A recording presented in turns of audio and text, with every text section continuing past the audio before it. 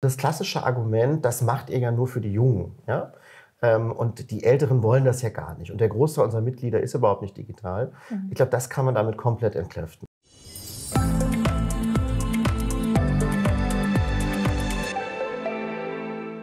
Hi und herzlich willkommen zu einem neuen Video. Ich freue mich total, dass ihr wieder mit dabei seid. Ähm, wir sind hier heute im Studio und ich begrüße Professor Holger Siebert. Schön, dass du da bist, Holger. Schön, dass ich hier sein kann. Hallo, Debbie. Hallo. Holger, du bist Experte für digitales Kommunikationsmanagement an der Makromedia Hochschule in Köln mhm. ähm, und arbeitest sowohl für private Unternehmen als auch zum Beispiel für die Kirche. Du hast ja auch ähm, eine Studie verfasst, mhm. ähm, gemeinsam mit dem VRK, Versicherer im Raum der Kirchen, der ja auch das Projekt hier unterstützt und ermöglicht. Ähm, worum ging es denn da? Wir wollten uns mal angucken, wie die Digitalisierung eben im Raum der Kirchen aussieht und wie weit eigentlich die Kirchenmitglieder, die Kirchenmitarbeiter und auch die Institutionen digitalisiert sind. Mhm. Also in welchen Bereichen die schon digitale, digitale Tools nutzen, wie die miteinander kommunizieren digital und alles, was damit zusammenhängt. Das heißt einmal quasi wie so ein Check-up, also Status quo quasi erheben, wo steht Kirche im Sinne von Digitalisierung. Ja, genau. Und zwar nicht nur Kirche als Institution, sondern eben genauso die Leute, die dort arbeiten. Und das auch sehr umfassend, also nicht nur verfasste Kirche, auch Caritas, Diakonie, Krankenhäuser, Kindergärten, whatever. Mhm. Ähm, und auch ähm, halt normale Kirchenmitglieder, die keine besondere Funktion haben, wie digital die eigentlich sind. Auch als Beispiel generell auch für andere Non-Profit-Organisationen, um mal zu schauen, wie sieht es dann mit Digitalthemen eigentlich aus. Was für einen Umfang hatte die Studie denn? Wie lange hat es gedauert? Wie viele Teilnehmende hattet ihr? Wie habt ihr es überhaupt gemacht? Also wir haben angefangen, das ungefähr vor inzwischen anderthalb Jahren zu konzipieren, zu entwickeln von der Struktur her, waren dann live damit von ungefähr Februar bis August letzten Jahres. Und live wird, damit heißt? Das war eine Online-Befragung, dass man eben online auch reinkam. Und äh, das hatte deswegen diesen langen Zeitraum, weil wir einen Block hatten, da ging es mehr um die Kirchenmitglieder. Das war zusammen mit drei Landeskirchen und zwei Bistümern. Und dann gab es im Sommer noch einen Block, da ging es um die Kirchenmitarbeiter. Mhm. Und das haben wir eben auch dann zusammen mit dem VRK und deren Kunden, die dann angeschrieben wurden, ähm, gemacht und angegangen. Insgesamt sind etwas über 5000 Interviews zustande gekommen, wow. sodass wir relativ genau beschreiben können, wie es auch in einzelnen Subgruppen und, und Strukturen einfach aussieht. Okay, und dann ging es quasi so darum, wie werden digitale Medien genutzt, ähm, auch im Zusammenhang mit Kirche oder auch nicht? Ja, erstmal, wie nutzen Kirchenmitglieder auch privat digitale Medien? Ah ja. Und was dabei rauskam, das war ganz spannend, eigentlich ist ja das Bild von Kirche eher so ein bisschen analog. Ja. ja. Und auch von den Leuten, die da regelmäßig hingehen, das sind ja so irgendwie die Älteren und die haben mit Digitalität oder mit Internet oder mit Social Media nichts zu tun. Wenn man es wirklich aufzoomt auf die Mitglieder in der Gesamtheit, ist es aber überhaupt nicht so. Mhm. Sondern Kirchenmitglieder sind ungefähr ein bis zwei Jahre früher bei digitalen Trends und Entwicklungen als die Gesamtbevölkerung. Mhm. Ähm, Kirchenmitarbeiter sind ungefähr auf der Trendstufe. Die Institutionen strukturell sind aber ungefähr fünf bis zehn Jahre hinterher. Oh. Okay. Und das ist so ein bisschen das, das, das, das Problem, das man hat. Also ja. wenn man die Leute fragt, zum Beispiel, wie viel Zeit verbringen sie im Internet oder welche Social Media nutzen sie, dann hat man Instagram als führenden Social Media Kanal schon gehabt, als es in der Gesamtbevölkerung nur Facebook war. Ja? Also Ach, da gab es wirklich einen Vorlauf. Mhm. Wenn man sich dann angeguckt hat, wie sieht es aus bei den Mitarbeitern, ist es ähnlich. Ein bisschen weniger, von den, weniger hoch, aber auch da ist es vorne. Und wenn man sich dann anguckt, wie weit Social Media in den Institutionen genutzt werden, dann hat man Werte, die man bei Unternehmen vor 10, 15 Jahren hatte, vor allem in der externen Kommunikation. Mhm. Und das ist so dieses Riesengap, dieser Riesenunterschied. Ähm, eigentlich können die Leute das, die Kirchenmitglieder sind, die sind ziemlich digital. Die nutzen das sehr intensiv. Ungefähr 20 Prozent folgen so Social Influencern, also auch kirchlichen Social Influencern und sowas. Die nutzen das sehr intensiv. Aber die Institution kriegt sozusagen ähm, strukturell nicht auf dem Weg, diese, diese Nachfrage zu befriedigen. Hm, und hängen da so hinterher. Ich frage mich jetzt gerade, es war natürlich auch eine Online-Studie. Damit mhm. habt ihr natürlich auch irgendwie schon so eine Vorauswahl getroffen, wer da überhaupt teilnehmen genau. kann, wer überhaupt irgendwie diese Barriere überschreitet, da mitzumachen. Ich sage jetzt mal die 70- oder 80-jährige Omi, die jeden Sonntag da vielleicht in die Messe geht, die habt ihr damit ja wahrscheinlich nicht abfangen können, oder? Die haben wir nur teilweise abfangen können. Was wir gemacht haben, wir haben zum einen die Ergebnisse nachher auch nochmal gewichtet, also bezogen auf die Gesamtgruppen, sodass man auch da einen gewissen Unterschied herbekam.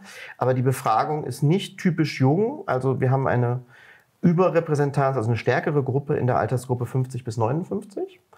Ähm, und wir können zeigen, dass selbst das Thema Social Media Nutzung auf entsprechenden Kanälen bis in die 60er Jahre relativ stark hereingeht. Äh, vor allem bei, bei, bei reinen Mitgliedern. Was wir nicht haben, sind Leute, die, die sozusagen komplett offline sind. Da gibt es andere Studien, die wir auch gemacht haben, wo man es vergleichen und sich anschauen kann. Ähm, aber man kann diese Gruppe ungefähr quantifizieren. Und wenn man sich anguckt, in der Gesamtbevölkerung sind wir inzwischen auch bei über 50 Prozent der über 70-Jährigen und über 75 Prozent der 60 bis 70-Jährigen, die relativ aktiv online sind, meist über ihr mhm. Smartphone. Ähm, und es gibt keinen Grund, warum es in Kirche geringer sein sollte. Es ist sogar noch einen Tacken höher und das kann man dann gewichten und sich, sich anschauen. Genau. Ah ja, das heißt irgendwie, von wie viel bis wie viel Jahren ging so die Altersspanne, die bei der Studie teilgenommen hat? Die ging los ähm, von 14, was eigentlich sehr wenige waren, bis 19. Die meisten waren dann so zwischen 20 und 70 und dann gab es noch einen kleinen Anteil derjenigen, die über 70 sind. Was mich gerade noch interessiert, ähm, du hattest gesagt, ihr habt irgendwie ähm, verschiedene Institutionen mit einbezogen. Das heißt, es war auch ein ökumenischer Ansatz. Mhm. Ähm, ihr, du hast gesagt, ihr hattet irgendwie katholische, evangelische ähm, Kirchen drin, aber auch sowas wie Caritas, Diakonie. Mhm. Waren auch so Freikirchen mit drin? War, mhm. Weil die sind ja oft irgendwie etwas, denke ich irgendwie, oder so ist zumindest der Eindruck, ein bisschen fortschrittlicher, was so das Digitale angeht, oder stimmt das gar nicht? Das ist komplett gespalten. Also erstmal, es waren Freikirchen drin, allerdings mit einem relativ kleinen Anteil, so ungefähr 5% der Befragten. Äh, wir wissen aus diesen 5% oder aus anderen Daten, aber dass es bei Freikirchen eigentlich so, ein, so, eine komplette Spaltung gibt. Es gibt Freikirchen, die, die sehr missionarisch unterwegs sind und das auch digital machen. Mhm. Und es gibt Freikirchen, die ganz bewusst eher so den analogen Weg fahren, ihre eigene Gemeinde, ihre Gruppe fast schon Teufelswerk. Also sie sehen mhm. das sehr, sehr kritisch in der Struktur äh, und haben dann eine ziemliche Distanz zu. Da gibt es also große Unterschiede. Ah ja, spannend. Hm. Hätte ich gar nicht so erwartet, weil also ich, ich habe mich viel in so Freikirchenräumen bewegt, die dann, glaube ich, eher so auf dem ersten Spektrum ja, waren. Genau. Das super. Ne? und da ja. gehört Digitalisierung sowas von dazu. Genau. Ja. Was kann denn jetzt aus der Studie so folgen? Also was wäre so etwas, was du sagen würdest, jetzt haben wir das untersucht und gemacht und haben jetzt diese Erkenntnisse. Wofür kann es gut sein? Ich glaube, erstmal ist es für die, die digital engagiert sind, ein gutes Hilfsmittel. So das klassische Argument, das macht ihr ja nur für die Jungen. Ja? Ähm, und die Älteren wollen das ja gar nicht. Und der Großteil unserer Mitglieder ist überhaupt nicht digital. Mhm. Ich glaube, das kann man damit komplett entkräften. Ah, ja. Das ist wirklich Bullshit. Das stimmt nicht. Der Großteil der Mitglieder ist ja digital. Mhm. Die Frage ist, ob der Großteil der Mitglieder, die die Leute selber in ihren Kerngemeinden erleben, ob der so digital ist. Oder ob sich da auch viele Leute tümmeln, die viel weniger Digitalität, ich sag mal, im Blut haben und das wahrnehmen. Mhm. Auch für die, die, auch denen sollte man gerecht werden und tolle Angebote machen. Aber ich glaube, der große Hebel ist, man kann endlich mal zeigen, hey, euer Gegenargument, das ist ja nur so für so eine kleine Gruppe.